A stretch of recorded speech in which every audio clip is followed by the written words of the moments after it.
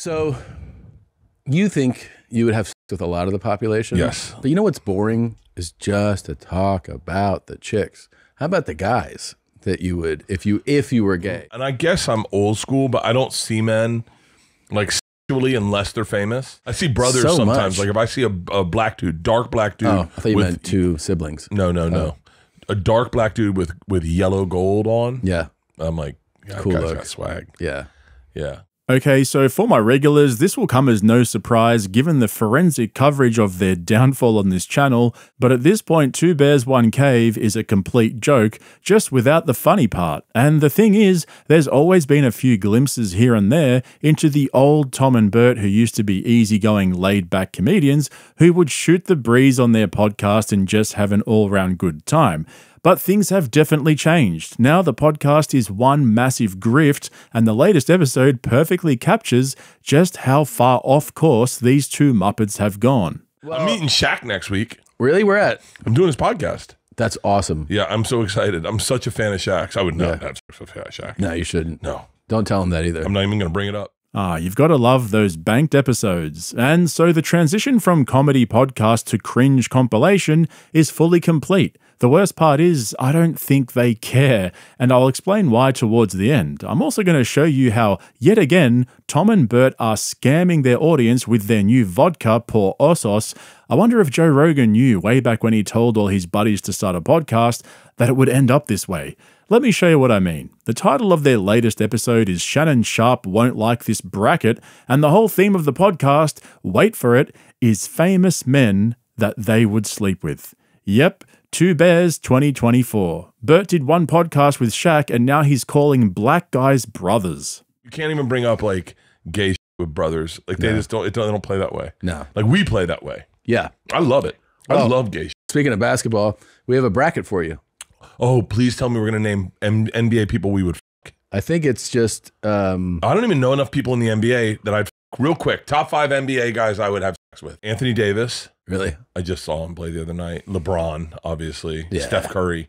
I'd be the top. Well, these are those are like also great stories. You know what I mean? yeah. like when you're at hanging out, you're like, you know, who I just fucked? Steph Curry.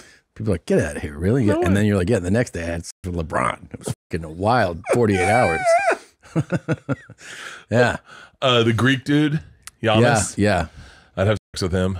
Bro, what are you saying? How did it seriously come to this? And the thing is, this isn't some off the cuff discussion they went down. We know that they plan out these episodes and have production meetings before they bank three months worth of episodes into two weeks of recording. So that's where the title of this episode came from. Remember? They created these brackets so they could narrow down the guys they want to sleep with to find a final winner. Oh, we have a bracket. Yeah, it's a bracket. We Oh, were- shut the fuck up. March Madness, baby. Oh, oh, wow. Okay, okay. Fuck yeah. So we're gonna find the most fuckable celebrity right now. So let's just get this straight. Two of the highest selling comedians on the planet had a production meeting, and the best idea for a podcast they could come up with was to do March Madness brackets of famous dudes they want to get railed by. Now, if you're not already cringing from Bert's insane groupie energy, take this as a warning. It's about to get bad. Just to give you an idea of the level of detail involved in deciding who wins each stage, this is what happened when they got to the Kelce brothers, and it wasn't deciding between the two of them, they were both on the same side. Don't come at me in the comments, guys, because I've already warned you. Both Kelce brothers Oh wow. Hold on. Hold on. or Ben Affleck?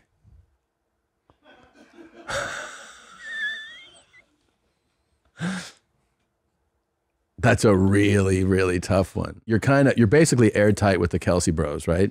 Like, Yeah. they're, you're just a fucking, like, spigot, Oh. right? They're just, Leaky submarine, just Yeah. in the mouth, in the ass, yeah. and and and, And, there's, they- a, by the way, there's a lot of power behind these thrusts. oh wow. I'm gonna I'm gonna be taking a fucking rest day. It's my Monday. Yeah, yeah. You're gonna need that cold plunge. I've always wanted to be have a brother, so Yeah. I think both the Kelce brothers, you'd be a part of the family, and you get all the inside For sure. jokes. Yeah, yeah. And you'd and all of a sudden you'd be welcomed in to them, Yeah, and you could hang out with. I mean, they, okay, well they got to get rid of their wives. yeah, yeah. Leave Taylor families. and Kelsey are gone. it's really tough to be enough for two, like two people. You're always going to be dealing with like Mm. Jason's gonna be like, "Oh, how was? I guess you spent the night with Travis last night." You know what I mean? And then you're like, "Dude, I fucking love you. I might just- be enough for a thruple. You think so? I might be the perfect guy for a thruple because I'm a lot. You are a lot. You're I a might have total thruple energy. But But Ben- then the Ben question is Affleck? Ben Affleck. Oh, brooding. Yeah. Cigarette, Dunkin' Donuts. Yeah. Always, he's got the same scrolling thing I have, where he's like, "God, man, I'm, I want to get down tonight," Yeah. and then I could get a. But he's loose- sober. No, I'm not with me. Okay. Not with me. And he's just left J Lo again. He's just left J Lo. He's lost. He's confused. He's got a house in the hills. Yeah. We bump into each other at Runyon Canyon, and he's like, "Hey, I saw the thing that you and uh, the other guy did with the brackets. Is that real?" and I go, "Huh?" And he goes, "Would you? Would you for real?" And I go, "Yeah, I said it." And he go, "Hey, come hang out with me tonight. I'm off the wagon. I'm partying, but I, I got my shit under control." And I'm like, "Okay." He's like, "Hey, don't bring your chick. And Just you're me and you." You're like, yeah, of course. And then the other pitch is me and you are at an event, and the Kelce brothers walk up shoulder to shoulder with me, and they're like, "Hey, we saw the thing you did with Tom.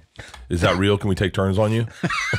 Oh, what's that saying? There's truth to every joke. And we know that Bert's a terrible actor after seeing the Machine movie flop in more ways than one, but this wasn't just a 5 or 10 minute conversation, it was the whole theme of this episode. It went for over an hour. This is what they call content. Now it's the finals. It's the finals, dude. Who are you going to choose?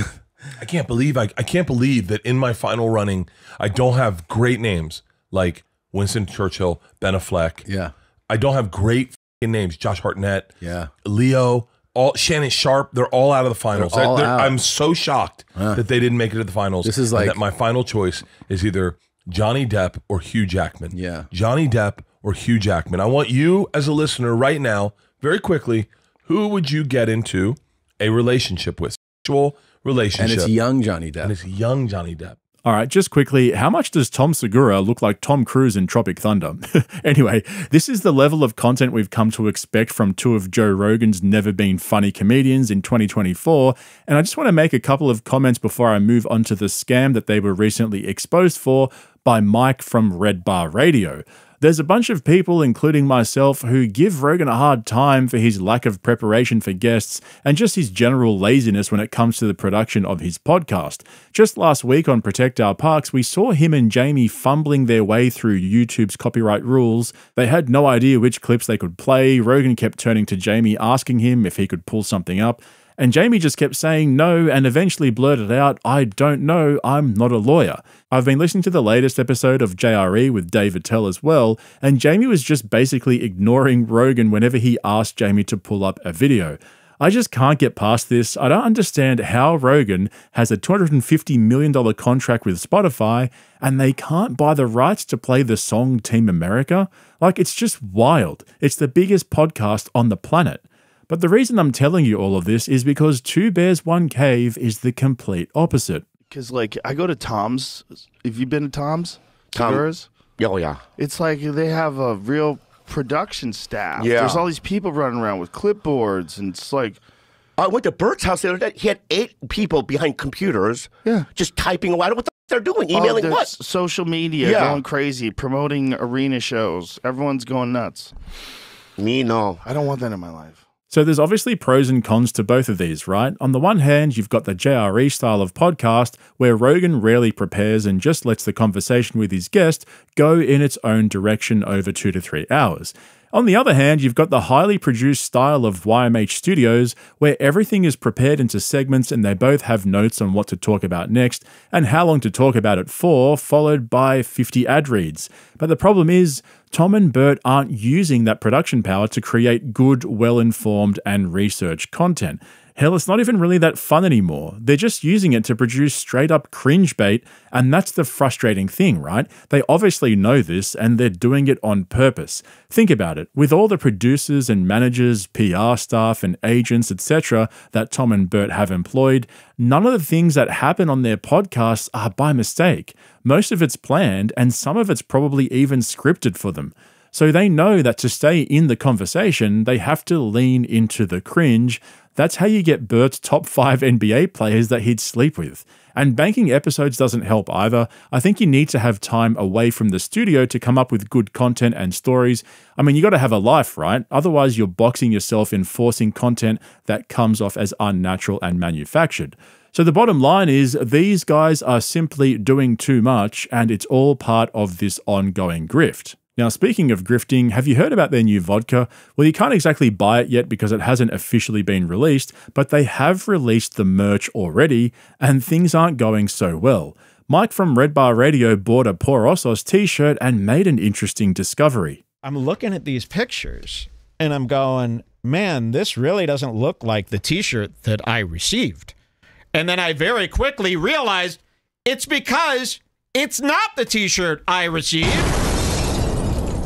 I'll break the news to you quick. In all of the Por Osos advertising and listings for the item on their store, they're using expensive, thick AS color t shirt. Here's Tom looking like a stud in the shirt, no wrinkles. And you see the nice, thick collar. You see that there's not, it looks nice and sturdy and thick. And you could scroll through these pictures. Every photo of Tom is in the nice version of this piece of shit shirt that we actually get. Here's the proof. There's that AS color tag right there that they've blurred Why out, but they I at least edit? could recognize it. And here's the nice thick collar. You could compare it to this collar here, which is extremely thin uh, and junky. And they're selling an item that they are not shipping. And they said the merch, remember when they promoted it, next level merch. This is this merch is next level. We're gonna have our vodka there for you to taste. We're gonna have great f***ing merch. I'm talking next level merch. Look over my left f***ing shoulder. It's great merch. It is great merch. Uh, it's an even, I'm, and I'm, I'm saying this. I know I should be, but I'm gonna just tell you, it is an amazing product. I'm talking next level merch. Look over my left f***ing shoulder. So let's be honest here, this isn't a big deal. I mean, it's nowhere near as bad as Logan Paul's CryptoZoo scam or Andrew Schulz charging his fans for his comedy special and then dropping it for free on YouTube a few weeks later. This is just a bit of the old merch scamming where you advertise a certain level of quality and you don't deliver. And that tells you everything you need to know about how Tom and Bert view their audience. It's one big game of how much money they can extract from their fans before we catch on and realize that they're getting rich off us and then bragging about the lifestyles we gave them while simultaneously mocking us for being poor. The joke's on us, right?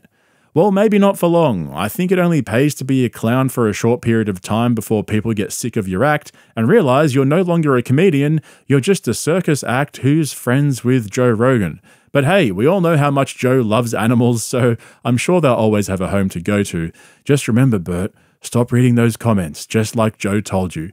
Me, on the other hand, well, I'm here for the comments. Take a look at what people are saying on the latest episode of Two Bears. Four minutes in, I think I'm going to save this episode for when I'm really bored or falling asleep.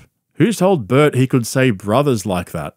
Two bears, 25 ads. Is this what Katt Williams was talking about? I really think I need to reevaluate the direction of my life.